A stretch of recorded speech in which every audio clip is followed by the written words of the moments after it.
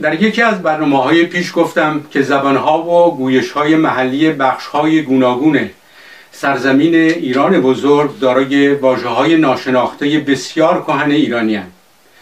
واجه هایی که در زبان پارسی رسمی یا ادبی یا کلاسیک به کار نرفتن مقصودم از ایران بزرگ ایران تاریخی است که افزون بر کشور کنونی ایران از سوی خاور تا آسیای میانه می رود و کشورهای تازه به پاخاسته چون افغانستان، تاجیکستان، ترکمنستان و ازبکستان را در بر می گیرد. ایران بزرگ همچنین از سوی باختر و شمال باختری تا بخشهایی از ترکیه کنونی، ناحیه اران و قفقاز گسترش می‌یابد. امروز می‌خواهم نخست درباره نمونه دیگری از این گونه واجه های کهن سخن بگویم. واژه سیل یا سی یا سل به معنای نگاه کردن. سیل کردن نگاه کردن. اینکه در طول صده ها این گونه واژه ها را آمیانه پنداشتند و در شعر و نصر به کار نبردند در اوضاعی روی داده که زبان پارسی زیر فشار عربی گرایان بوده. در گذشته به تفصیل گفتم که چگونه کاتبان و آخوندها واجه های پارسی را بیرون میراندند و واجه های عربی جایگزین آنها می‌کردند. حتی واجه های عربی آشنا را بر و واجه های عربی قلمبه سلمبه را جای آنها می نهادند. این کار در ضمن دشمنی با زبان پارسی فخر فروشی هم بود. خار شماردن زبان مردم عادی مکتب نرفته بود. مردمی که در طول صده ها واجه های اصیل ایرانی را از گزند و آسیب عربی و سرسپردگان عربی حفظ کردند و گنجینه گرانبهایی از واژگان را به ما رساندند واژه سیل به معنای نگاه در پهنه گسترده ای از سرزمین ایران بزرگ به کار می رود ولی تا آنجا که من می‌دانم در ادبیات کلاسیک فارسی دیده نشده است. در ملایری سیل در همدانی سی در لوری، لکی، کردی، کرمانشاهی، کرمانی، آبادی فارس سیل در گویش قدیمی ناحیه تهران بسه به معنای نگاه کن. در ناحیه کاشان یعنی ابیانه، نتنز، چیمه سیل. در افغانستان سیل.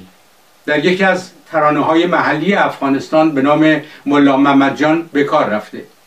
بیا که بریم به مزار ملا محمد جان سیل گل لالزار وا وا دلبر جان. من از ده دوازده سالگی کنجکاو این واژه شدم. به یاد دارم از یکی از آشنایان خانواده که ادبیات پارسی خوانده بود پرسیدم سیل کردن با سیل سیلاب چه رابطه ای دارد؟ به فکر فرو رفت چنان که گویی نخستین بار بود که با چنین پرسشی روبرو می‌شد. پاسخ داد سیل کردن به معنای نگاه کردن باید همان سیر کردن باشد. با آنکه آن موقع من نمی‌دانستم که سیر عربی است و سیل ایرانی گفتم ولی سیر کردن به معنای گشت و سیاحت است. با سیل کردن فرق دارد. این خاطره در ضمن به این نکته اشاره می کند که در گذشته به سبب ناآگاهی از ریشه واجه های ایرانی خواسته یا ناخواسته برایشان ریشه عربی می یک نمونه دیگر واژه عشق است که در گذشته دربارهش به گستردگی سخن گفتم.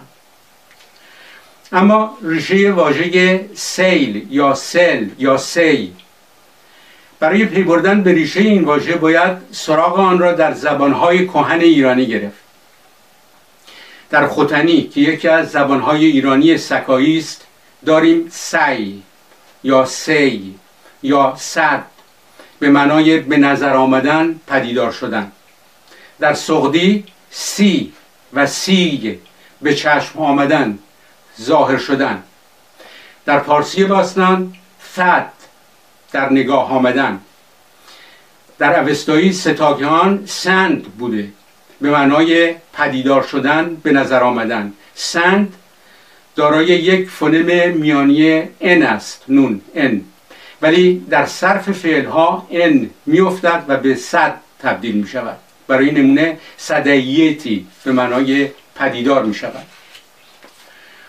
واژه پسند پسندیدن در پارسی هم از همین ریشه سند می آید پیان پیشوند است در اصل پتی بوده. پتی سند به معنای در نگاه آمدن یعنی به چشم خوب آمدن.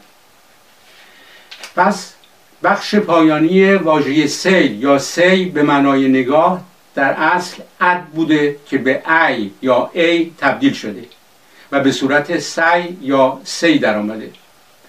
در برخی زبانهای ایرانی یک ال لام ال هم به آن افزوده شده. سی چون این فرگشتی را در موردهای دیگر می‌بینیم. واژه می به معنای باد شراب در اصل مدلو بوده.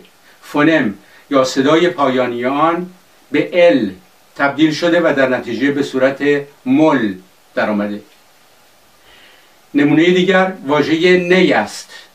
گیاهی که ساقهش تو خالی است. در اصل ند بوده. در پشتو به نل و نول ترادیسیده. در یک جمله واژه سیل در سیل کردن از پور و ایرانی سند و صد ریشه گرفته. به معنای پدیدار شدن به نظر رسیدن. در ضمن ریشه آن نه به سیر عربی ربط دارد و نه به سی در انگلیسی به معنای دیدن.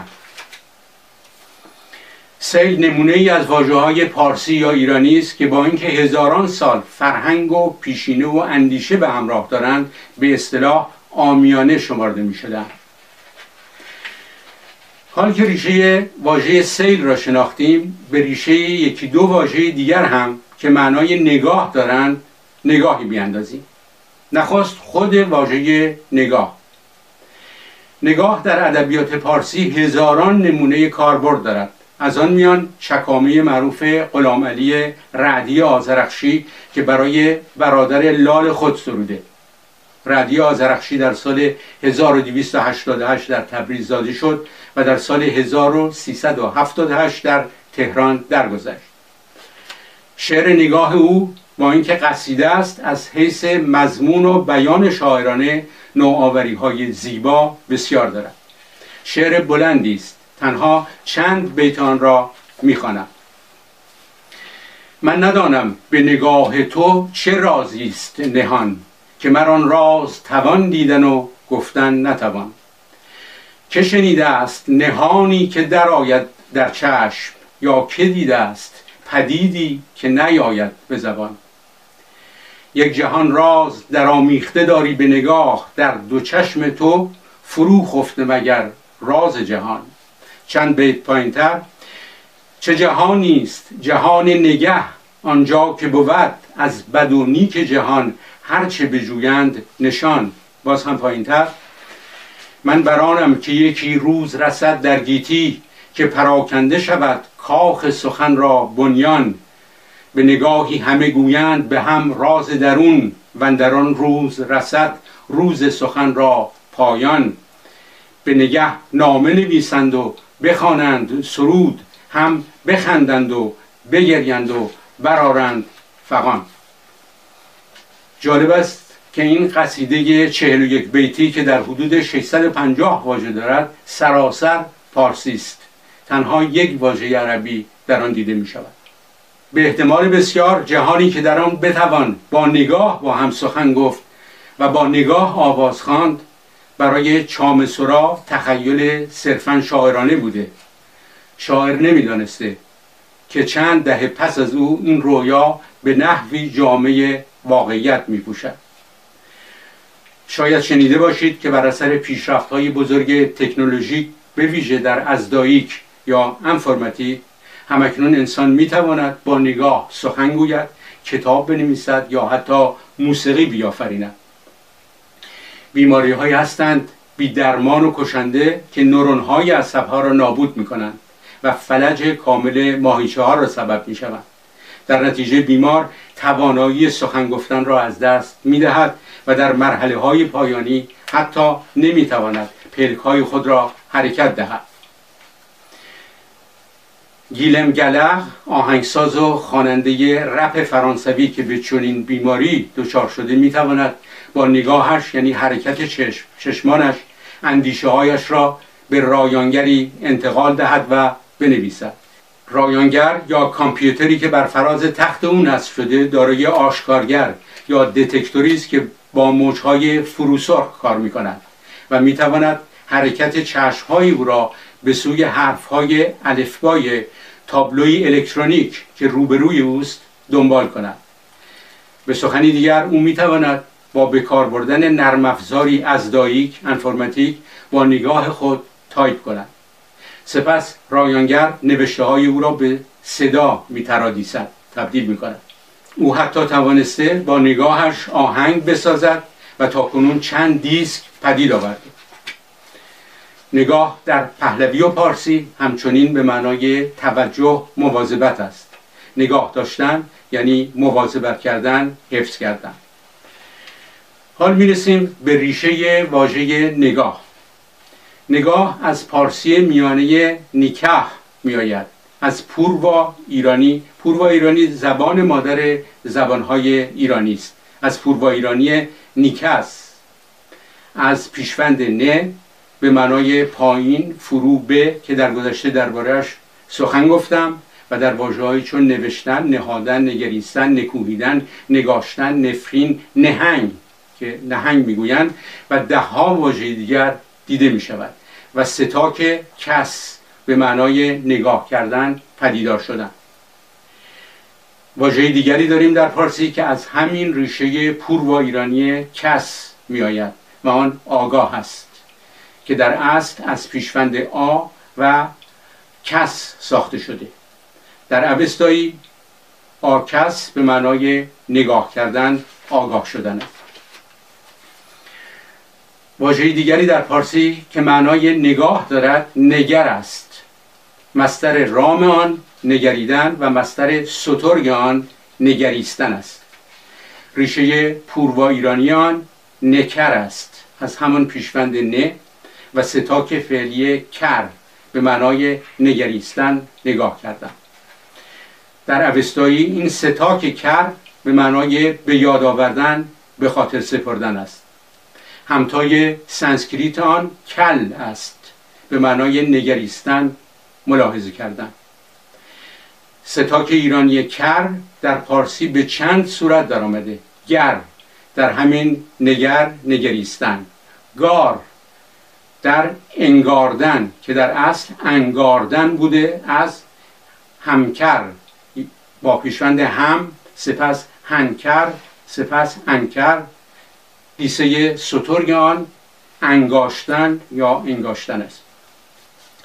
ستاک کر همچنین در پارسی به دیسه گال دیده می شود.